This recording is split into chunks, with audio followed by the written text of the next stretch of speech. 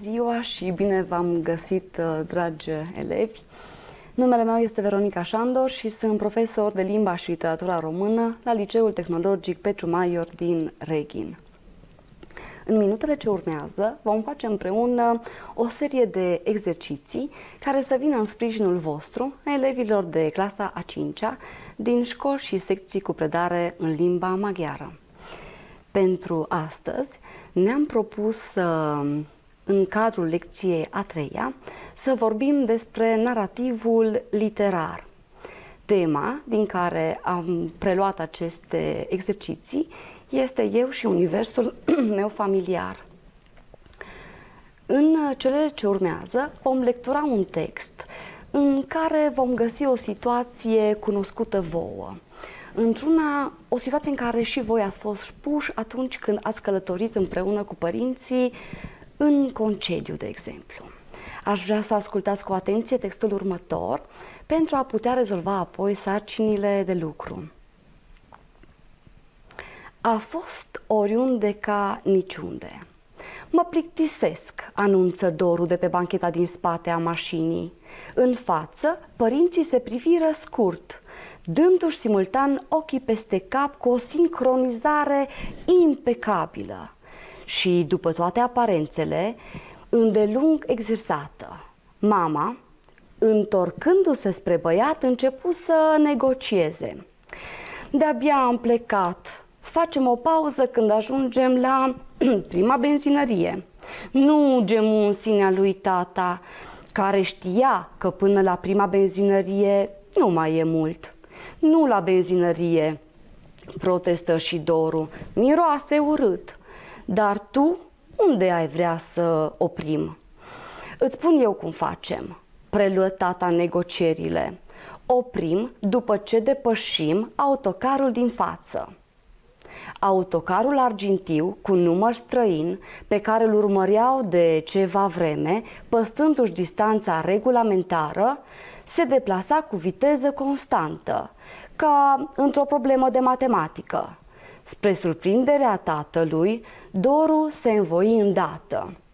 Dar până nu-l depășești, nu mai oprești, spuse el singura condiție. Apoi își continuă conversația cu calul Ralph, singura jucărie pe care o luă cu el în călătorii. Doru îi vorbea lui Ralph într-o limbă inventată anume – de, din care părinții nu înțelegeau o iotă, iar Ralph îi răspundea copilului în aceeași limbă, numai de el auzită, numai de el înțeleasă. Ralph era un banal căluț de plastic și nu știa să facă nimic, adică se putea desface în două ca o nucă. Acest text a fost scris de Florin Bican și se numește, și v-am spus, povestea așa. Pentru că ați putut observa în timpul lecturii câteva cuvinte necunoscute sau care poate v-au pus în dificultate, aș vrea ca în primul nostru exercițiu să înțelegem mai bine sensurile cuvintelor și să le căutăm în dicționar avem, de exemplu, cuvântul a se plict- sintagma a se plictisi, din mă plictisesc. A se plictisi înseamnă a fi urât, a avea un gol sufletesc. Sincronizare impecabilă, sincronizare, înseamnă derularea în același timp a două sau mai multe acțiuni. Impecabil este perfect, desăvârșit. Tata preluă la un moment dat negocierile. Negociere este o discuție purtată de două sau mai multe persoane în vederea stabilirii unui acord. De regulă, voi faceți negocieri cu părinții atunci când trebuie, de exemplu, să achiziționați o bicicletă nouă sau atunci când trebuie să mergeți într-un loc anume. Folosind dicționarul explicativ al limbii române, vom stabili de asemenea împreună uh, sensul cuvintelor regulamentar, constant și banal. Pentru că nu e suficient să căutăm uh, doar sensul în dicționar și este foarte important să le folosim în contexte diferite, uh, vom face cu ele și câteva propoziții. În felul acesta vom fi siguri că le putem integra în vocabularul nostru de zi cu zi. Cuvântul regulamentar se referă la respectarea regulilor. Acel funcționar a adoptat un comportament regulamentar sau copilul trecea regulamentar strada. Constant e ceva ce rămâne neschimbat. Tonul său constant devenise obositor pentru cei din jur. Probabil ați auzit de asemenea spunându-se vântul bate constant, adică cu aceeași intensitate. Cuvântul banal înseamnă obișnuit, comun. Ioana s-a bucurat de cadoul primit, deși acesta era un obiect banal. Un obiect banal poate să fie, de exemplu, un creion, o furculiță, o lingură sau un caiet, de exemplu. Exercițiile care mie îmi plac uh, cel mai mult sunt exercițiile la care răspundem cu adevărat și fals și putem verifica în felul acesta dacă am înțeles uh, cu adevărat textul. În exercițiul următor vom răspunde cu adevărat sau fals și vom stabili dacă enunțurile sunt uh, în conformitate cu ceea ce am citit noi în text. În felul acesta vom afla dacă dorul este încântat de călătorie, unde anume stă dorul în mașină, dacă totul este regulamentar, unde propun să facă ei un popas sau dacă dorul este de acord cu propunerea mamei sale. Vă las câteva momente pentru a putea uh, reciti enunțurile și apoi vom vedea pe baza textului care sunt răspunsurile corecte.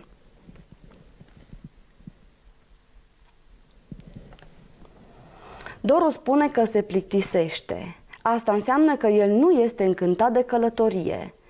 Primul enunț este un enunț fals.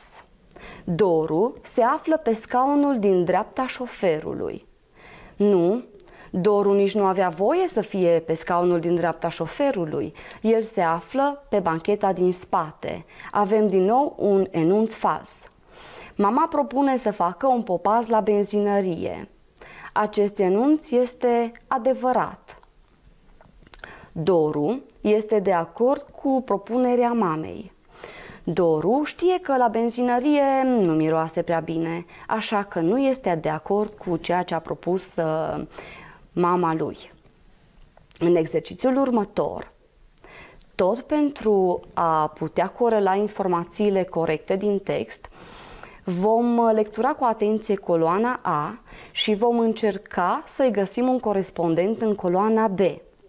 Vedem că în coloana A avem patru uh, numere, iar de partea cealaltă avem cu o literă în plus. Asta înseamnă că din cele uh, din coloana B, unul este în plus. Haideți să vedem care este enunțul în plus.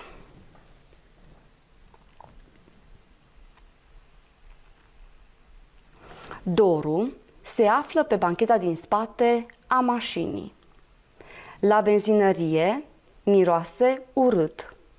Autocarul din fața mașinii era argintiu.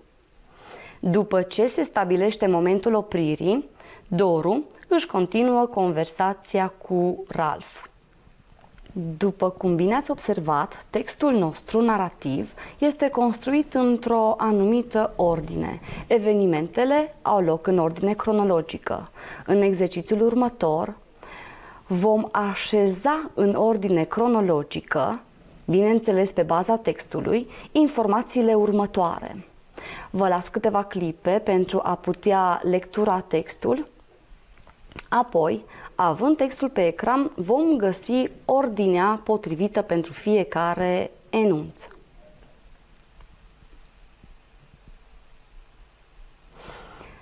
Haideți să privim împreună.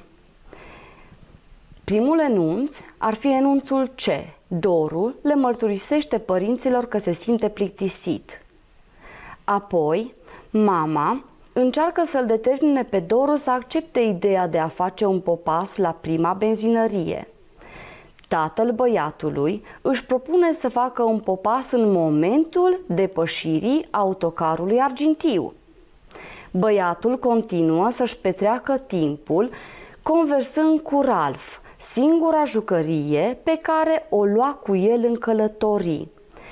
Copilul îi vorbea lui Ralph într-o limbă inventată de el. Aveți în culori diferite, în funcție de fiecare enunț uh, din partea stângă, da? evidențiat în text cu culoarea potrivită.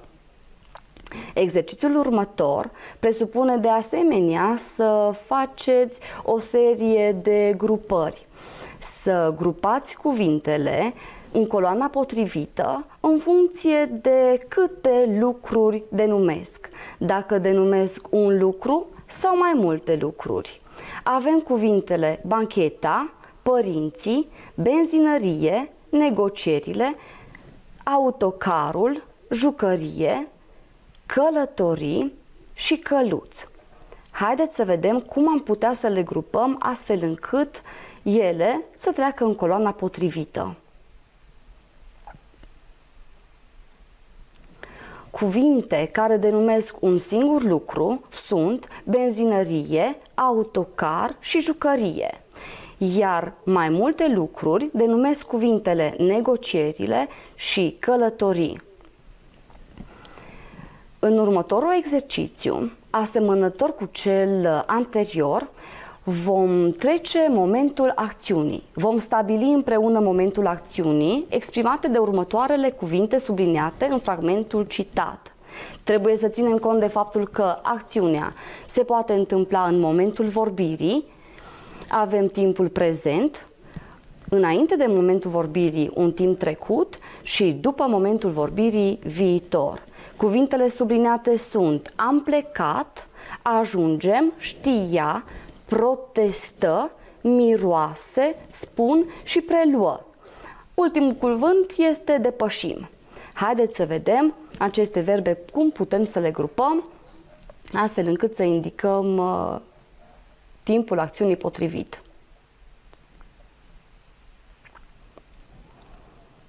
Rezolvarea corectă este următoarea, știa, protestă, preluă, miroase, da? avem la prezent, spun și depășim.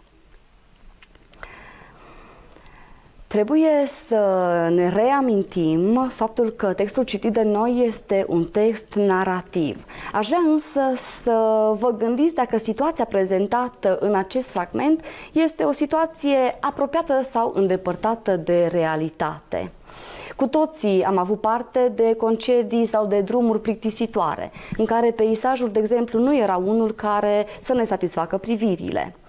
Textul propune o situație ușor de identificat în lumea reală. Ați văzut o scenă de familie în timpul unei călătorii cu mașina. Relațiile de familie sunt cele tipice, pe care voi le cunoașteți deja. Relația dintre părinți, copii, am avut obiecte care de asemenea sunt uh, ușor de găsit, de identificat, de reperat în universul vostru cotidian. Cu toții am văzut mașini, avem mașini, am văzut autocare și cu siguranță am oprit în benzinării. Deși pornește de la o realitate apropiată nouă, textul reorganizează componentele acesteia și obține o lume nouă, o altă lume. În această lume, comunicarea dintre om și celelalte componente ale realității devine posibilă prin umanizarea acestora, prin uh, atribuirea de însușiri omenești. Astfel, sensibilitatea și fantezia lui Doru, de exemplu, îi permit să comunice printr-o limbă doar de el știute, cu Ralph, căluțul din plastic. Cine este autorul? Vă mai amintiți? Cine a creat această lume? Haideți să vedem împreună. Dacă nu vă amintiți, vă spun eu, autorul este Florin Bican, este un autor contemporan care în acest moment trăiește la Cluj și pe care îl puteți uh, găsi atât în librării, pe coperțile multor cărți pentru copii, dar și în diferite activități alături de, de copii de vârsta voastră. Autorul este o persoană din realitate. Nu degeaba v-am spus că este contemporan cu noi, are pagină de Facebook care uh, o puteți uh, vedea, vă puteți informa de pe ea, de exemplu, și îl puteți vedea unde anume îl găsim în activitățile lui cotidiene. Autorul este persoana din realitate care creează un text literar, o operă literară. Textul literar este rezultatul imaginației autorului. El, prin intermediul operei literare, transmite idei și sentimente, iar cuvintele sunt uh, utilizate de multe ori uh, cu forme neobișnuite. Aș vrea să vă întreb ce credeți că a avut în vedere atunci când el a scris acest text? Care a fost mesajul care, pe care el a dorit să-l transmită? Avem aici câteva variante. De exemplu, el a, a vrut să prezinte detaliat anumite trăsături ale unor ființe, a prezentat uh, acțiuni plasate în timp și spațiu sau, de exemplu, a reușit să prezinte gândurile și sentimentele participanților la acțiune. Cu toții suntem de acord că răspunsul corect este B. Autorul nostru a prezentat o acțiune plasată într-un anumit timp și spațiu. Așa cum vă spuneam, autorul scrie cartea. Nu el este însă cel care o povestește. Cel care povestește în interiorul operei literare este naratorul sau povestitorul. Haideți să vedem dacă împreună putem găsi în următorul exercițiu secvențele în care putem identifica vocea naratorului, apoi vocea personajului. Vă las puțin să lecturați acest exercițiu, după care, în culori diferite, vom identifica locul unde vorbesc personajele și unde putem identifica uh, vocea naratorului. Dacă vocea personajului o putem identifica cu ușurință, deoarece avem liniuța de dialog, vocea naratorului o putem vedea în locurile, o putem identifica în locurile în care apare vorbirea la persoana a treia, de exemplu. În uh, enunțurile de la A și C aveți vocea naratorului, iar în B și D aveți vocea personajelor vocea celor care, prezi, care participă la acțiune.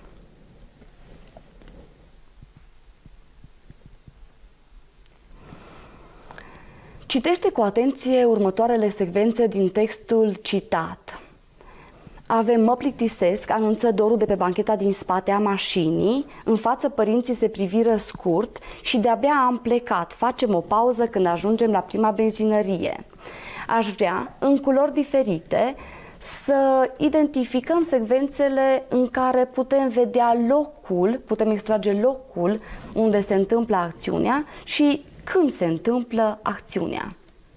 Vom folosi albastru pentru a identifica locul și roșu atunci când putem identifica timpul. Pe bancheta din spate avem un loc, în față este un alt loc, de-abia când, după ce și apoi sunt cuvinte care identifică timpul, temporalitatea, iar la prima benzinărie este din nou un loc. Este foarte important să reținem astăzi că textul narrativ cuprinde o acțiune care prezintă întâmplări imaginare, relatate de către un narator și la care iau parte personaje. Naratorul, așa cum vă spuneam, povestitorul, este o persoană imaginară, creată de autor, ce are rolul de a povesti întâmplările printr-un text narrativ, dar și de a prezenta timpul, spațiul și personajele implicate în text. Acum uh, vreau să vă gândiți puțin cum ați putea defini personajul. Care este definiția pe care voi ați găsi-o pentru a defini personajul? Am putea spune că personajul literar este o persoană, un obiect, un fenomen al naturii care participă la acțiune. Participă la toată acțiunea textului sau participă parțial la acțiunea textului. Apoi, e important să reținem faptul că avem anumite cuvinte care arată când și unde se desfășoară acțiunea, iar aceștia sunt indicii spațiotemporali. Încheiem exercițiul de astăzi cu o scurtă o scurtă vizionare, să zicem așa, a jurnalului lui Doru. Doru are un jurnal de călătorie. Haideți să vedem dacă Doru a scris corect uh, despre călătoria de astăzi. Citește cu atenție textul pe care Doru l-a notat în jurnalul său. Vei vedea că sunt câteva greșeli. Haideți să vedem împreună. Azi, în sfârșit, am ajuns în stațiunea la care au visat părinții mei. În momentul plecării, mama l-a privit cu un surâs pe Ralf, prietenul meu. S-a întors și tata spre noi, dar privirea sa era mai înțelegătoare. În cele din urmă s-au bucurat că mi-a trecut plictiseala. Haideți să vedem care sunt cuvintele scrise corect.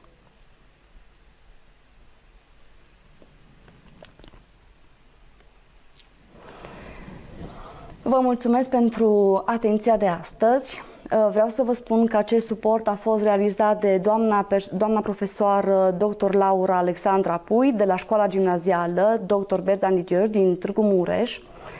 Îi mulțumim foarte mult pentru efortul depus și ne vedem la următoarea întâlnire.